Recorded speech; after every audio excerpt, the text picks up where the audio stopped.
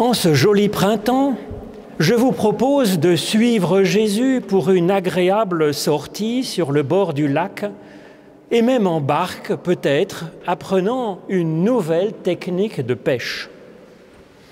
C'est dans l'Évangile selon Matthieu au chapitre 4. Jésus commença à proclamer changer de mentalité car le règne des cieux s'est approché. Marchant le long de la mer de Galilée, il vit deux frères, Simon que l'on appelle Pierre et André son frère qui jetaient un filet dans la mer, car ils étaient pêcheurs. Jésus leur dit, Venez à ma suite et je vous ferai pêcheurs d'humains. Aussitôt, ils laissèrent les filets et le suivirent. Ensuite, avançant plus loin, Jésus vit deux autres frères, Jacques, fils de Zébédée, et Jean, son frère, qui étaient dans leur barque avec Zébédée, leur père, à perfectionner leur filet. Jésus les appela, et aussitôt ils laissèrent la barque et leur père et le suivirent. Jésus parcourait en profondeur toute la Galilée, enseignant dans leur synagogue, proclamant la bonne nouvelle du règne et guérissant toute maladie et toute infirmité dans le peuple. Alors ensuite, puisqu'il est question de perfectionner les filets, je vous propose d'entendre un enseignement de Jésus au chapitre 13 du même évangile, où il nous parle encore du filet de pêche. Jésus dit, le règne des cieux est semblable à un filet jeté dans la mer et rassemblant des poissons de toute espèce. Quand il fut rempli, on le remonte sur le rivage, puis on s'assied, on ramasse les bons poissons dans des paniers, mais on jette ceux qui sont pourris. Ainsi en sera-t-il, nous dit Jésus, à la fin du monde. Les anges sortiront et sépareront les méchants du milieu des justes. Ils les jetteront dans la fournaise de feu, là sera le pleur et le grincement de dents. Avez-vous compris tout cela? Oui, lui répondirent les disciples. Jésus leur dit, C'est pourquoi tout scribe, devenu disciple du règne des cieux, est semblable à un humain, maître de maison, qui tire de son trésor des choses neuves et des choses anciennes. Ô Éternel, par l'étude de nos écritures anciennes, ouvre-nous maintenant à ton souffle de vie, à une parole neuve qui vient de toi. Au nom de Jésus-Christ. Amen. Entre Pâques et l'Ascension, nous sommes symboliquement dans un temps où le Christ nous appelle et nous forme à prendre sa suite pour sauver le monde et ses habitants. Rien de moins. Ce venez à ma suite que nous lance le Christ peut être donc compris de deux façons. D'abord, d'apprendre le métier en regardant le Christ faire, puis de prendre sa suite après son départ Suivons donc ici quelques instants en étudiant ses gestes et ses paroles. Et comme ça, nous pourrons apprendre de lui ce métier passionnant et beau de sauveur du monde qu'il nous appelle à exercer modestement. Sans doute parce que Dieu nous en pense capables. Nous en sommes capables ni plus ni moins que Pierre, André, Jean et Jacques qui sont dans ce récit. Ils n'étaient pas non plus du métier de sauveur du monde, ils étaient pêcheurs de poissons. Et Jésus leur propose de se reconvertir en pêcheurs d'humains. Et ce récit met en valeur deux facettes du métier de pêcheur que nous sommes appelés donc à vivre spirituellement à la suite du Christ. La première avec Pierre et André, consiste à jeter un filet dans la mer, à la recherche donc de l'humain. Et la seconde facette de ce métier de pêcheur, avec Jacques et Jean, est de perfectionner nos filets. Il s'agit en effet, dans le texte grec de l'Évangile, non pas de réparer notre filet, comme le disent souvent nos traductions, mais de le perfectionner, de l'améliorer. En grec, kat artizo. Avant de voir comment Jésus s'y prend pour pécher, il est donc d'abord bon d'apprendre de lui comment nous équiper avec un bon filet.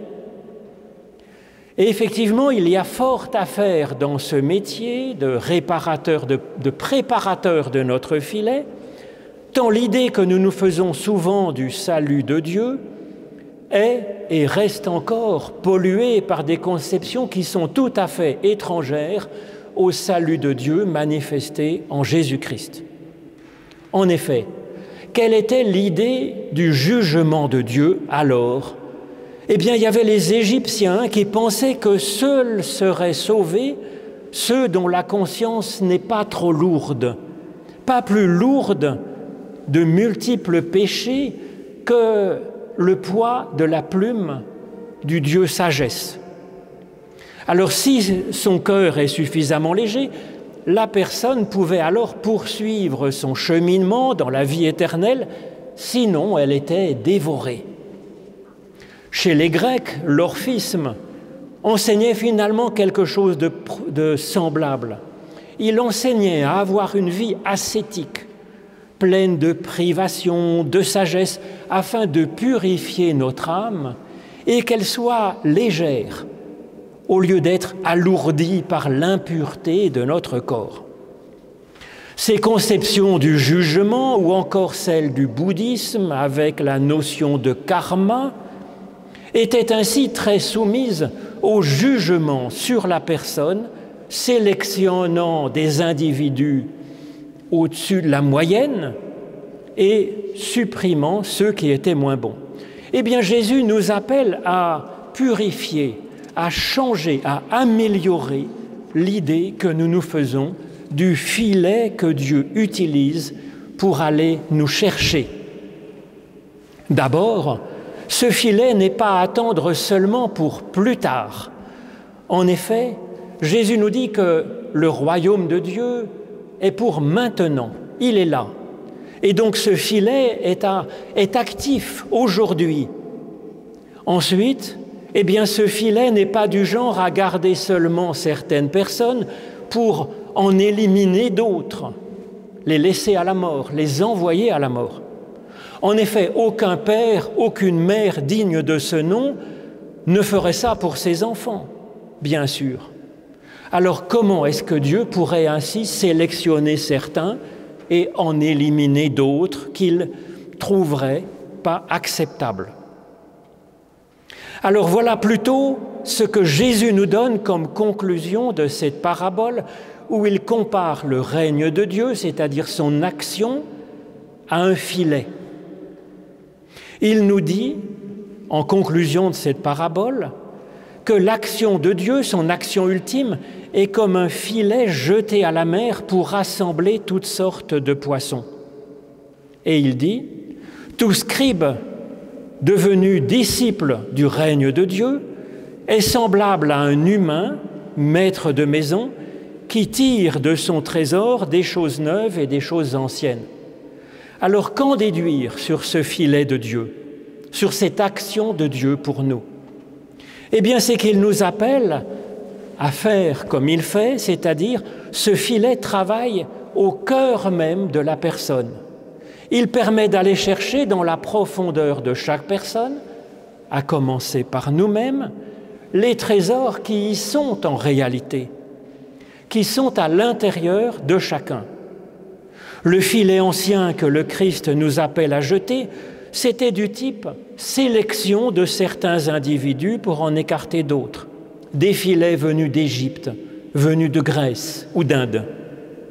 Et il nous invite à, à purifier notre filet, à l'améliorer en regardant comment Dieu travaille, lui, avec son filet. Et n'avoir donc aucune crainte de ce filet, nous en réjouir, bénéficier de ce bon soin que, Dieu opère avec son filet Ce filet allant chercher les trésors qui sont au fond de nous et que nous ne soupçonnions peut-être nous-mêmes même pas. Mais ils sont bien là, sous la surface. Jésus nous exhorte donc, tout scribe, devenu disciple du règne des cieux, sera semblable à un humain, maître de maison, qui tire de son trésor des choses neuves et des choses anciennes. Alors pourquoi Jésus parle-t-il d'un scribe instruit du règne de Dieu? Un scribe, c'est un théologien, c'est un interprète de la Bible. Alors il est possible, si on n'est pas enseigné par la façon de faire de Dieu lui-même, eh bien de sortir une interprétation de la Bible elle-même qui donne une conception du jugement de Dieu du type filet égyptien filet grec ou filet indien. Et ils auront alors, ces scribes-là, sur eux-mêmes, sur les autres et sur le monde, une certaine idée de jugement. Un jugement qui tient de la menace, de la culpabilisation, ou au contraire qui va tenir de l'orgueil en pensant que nous sommes déjà retenus dans le panier des justes, au contraire des autres, des infidèles qui ne font pas partie de notre Église, par exemple, et qui ont bien mérité d'être jetés dehors, bien sûr.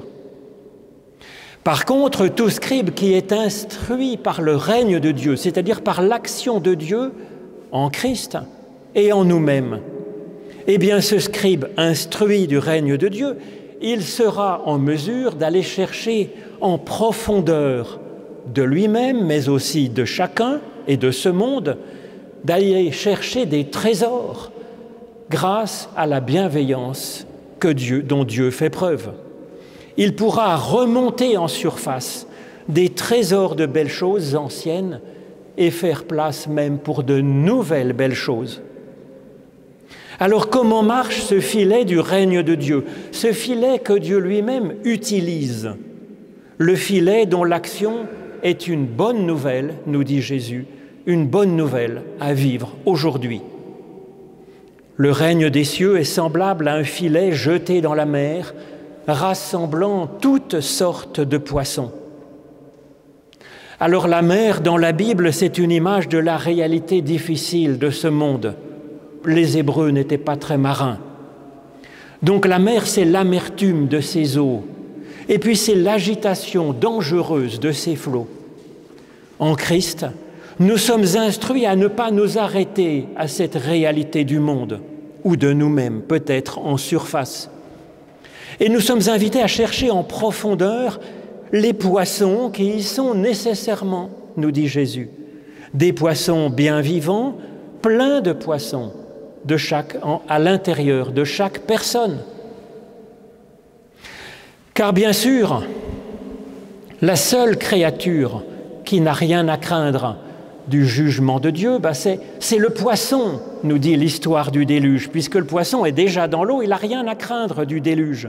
Le déluge était une image du jugement de Dieu à l'ancienne. Et puis le poisson, nous disent les scribes, c'est même une créature particulière qui grandit tout au long de sa vie et le poisson n'aurait pas de paupières, je ne sais pas, vous vérifierez en allant chez le poissonnier. Et donc, il voit toujours clair, il a les yeux toujours ouverts sur la lumière. Et le poisson est ainsi, dans la Bible, une figure du, du croyant, une figure du juste, selon Dieu, de ce, de ce que Dieu espère pour nous. Nous pouvons donc envoyer notre filet sous la surface en confiance qu'en chaque personne, il y a plein de bons poissons, et puis en nous aussi, bien entendu. C'est en tout cas comme ça que Dieu sait que nous sommes, et c'est ce que Dieu veut faire sur nous, remonter ces poissons à la surface, un plein filet de poissons de toutes sortes qui étaient à l'intérieur de nous-mêmes, et de les rassembler, nous dit Jésus recoller ainsi les morceaux de notre humanité peut-être éparse. Et puis aussi recoller les morceaux de notre vie, de notre être, peut-être éparpillés un peu par les aléas de la vie. En tout cas, c'est ainsi que Dieu travaille lui-même, nous dit Jésus, quand il parle du règne de Dieu, de cette action de Dieu pour, pour créer le monde, pour nous aider à avancer et à être meilleurs. Alors c'est ce que nous sommes instruits à faire à notre tour, à la suite de Jésus, et à faire chaque jour avec l'aide de Dieu.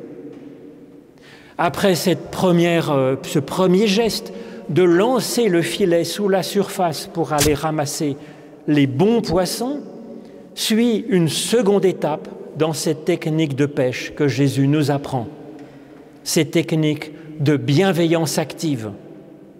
Eh bien, il nous propose de prendre un temps de recul à l'écart sur le rivage et de trier ce que l'on aura recueilli dans les profondeurs de nous-mêmes c'est le temps de la réflexion, c'est le temps de la prière, c'est le temps d'un Shabbat personnel, c'est le temps d'un discernement éclairé.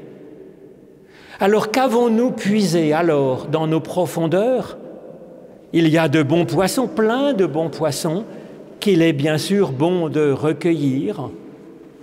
Et puis, il y a aussi de moins bons, évidemment, personne n'est parfait. Mais si l'on regarde bien ce que nous dit Jésus, il ne parle pas de mauvais poissons qui auraient été trouvés à l'intérieur de nous-mêmes. Et en effet, on parlait de bons poissons, kalos, on pensait, on attendait que Jésus parle de mauvais poissons, poneros. Mais non, Jésus parle plutôt de poissons pourris, sapros, comme un bon poisson qu'on aurait oublié une quinzaine de jours sur le coin de la table de la cuisine et qui se serait gâté. Quel dommage, quel gâchis quand il y a tant de bons poissons d'en laisser perdre qui étaient précieux. Et donc ça nous invite effectivement à ne pas négliger des parties de notre être qui étaient formidables. Alors quel est le travail du règne de Dieu en nous? Cette technique de pêche que Jésus décrit ici, qu'il exprime, est en fait une façon d'aimer et de valoriser une personne, de la soigner, de l'épanouir. C'est aimer comme le Christ aime l'humain, chaque humain, en allant chercher au fond de lui-même le meilleur. Il y en a toujours un plein filet de bonnes choses, de trésors à l'intérieur de nous-mêmes pour qui sait regarder sous la surface avec bienveillance et lucidité, le remonter, l'élever et le purifier de ce qui est souffrant. Voilà ce que Jésus fait sans cesse tout au long de sa vie, de multiples façons. Et voilà ce qu'il nous appelle à faire maintenant, à sa suite, en nous-mêmes, dans ceux qui nous sont confiés, et puis dans ce monde qui a tant besoin de pêcheurs d'humains. Alors voyons ensuite comment Jésus part à la pêche muni de cet outil de travail qu'est le filet de la grâce active. L'Évangile nous dit, nous décrit cette action. Jésus parcourait en profondeur toute la Galilée, enseignant dans leur synagogue, proclamant la bonne nouvelle du règne et guérissant toute maladie et toute infirmité dans le peuple. Jésus part donc à la pêche avec trois actions selon ce texte qui nous invite à le suivre. D'abord, il enseigne dans la synagogue, il proclame l'évangile du règne de Dieu et il guérit les maladies, les infirmités. Donc en premier, Jésus enseigne dans les synagogues. Il cherche à former le scribe, le théologien, l'interprète de la Bible qui est en nous, effectivement, pour que nous soyons un scribe instruit du règne de Dieu. Et donc, quelle est cette action? Il affine, il remonte notre capacité à nous poser des questions. C'est ce qu'il fait avec ses paraboles bizarres, avec ses paroles provocantes, ses enseignements complexes appelant à nuancer. Et quels sont donc les poissons que fait remonter à la surface? C'est notre degré de conscience, c'est notre capacité à regarder, à voir clair, à interpréter et à réfléchir. Il dégage notre capacité à discerner par nous-mêmes. Quant aux poissons pourris qu'il élimine en ce domaine, il nous délivre de nos illusions, de nos dogmatismes, de nos préjugés, de notre superficialité. D'abord donc l'enseignement du scribe. Ensuite, la seconde action du Christ allant à la pêche, à la pêche de l'humain par toute la Galilée, c'est l'annonce du règne de Dieu, de son action au jour le jour en nous. Et il nous dit que cette action de Dieu pour nous, qui que nous soyons, parce que dans la Galilée, il y avait plein de païens, nous, nous le savons, il nous dit que toute action de Dieu pour nous sera la bonne nouvelle. Alors quel bon poisson cela ramène à la surface de notre être? C'est une totale confiance dans l'action de Dieu, puisque toute action de Dieu pour nous est une bonne nouvelle. Jamais nous n'avons à attendre une mauvaise nouvelle de la part de Dieu, agissant pour nous, agissant en nous. Et puis les poissons pourris que le Christ nous apprend à jeter au feu, c'est la méfiance, c'est la peur de Dieu, c'est l'oubli de Dieu peut-être, comme si on laissait notre foi, notre amour, notre espérance pourrir dans un recoin de notre existence distraite. Alors la troisième et dernière action du Christ allant à la pêche à l'humain par toute la Galilée, dans les recoins de notre être, les profondeurs de notre être, c'est de guérir toute maladie, et toute infirmité dans le peuple. Alors effectivement, il y a du souffrant en nous et dans l'humanité. Dieu est celui qui prend soin de nous. Il nous invite aussi à aller aider notre prochain souffrant comme nous le pourrons, remontant le meilleur qui est en lui, alors que peut-être il doute que ça existe. Alors nous sommes aussi un peu handicapés, nous dit Jésus, nous dit ce récit, nous sommes comme un sourd qui a pourtant des oreilles, nous sommes comme un aveugle qui pourtant a des yeux, nous avons aussi une bouche, des mains, des jambes.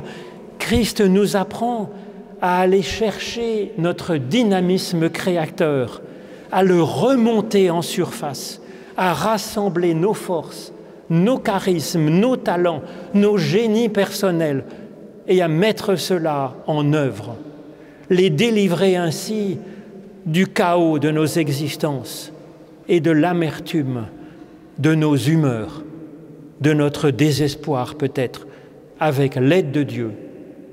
Amen.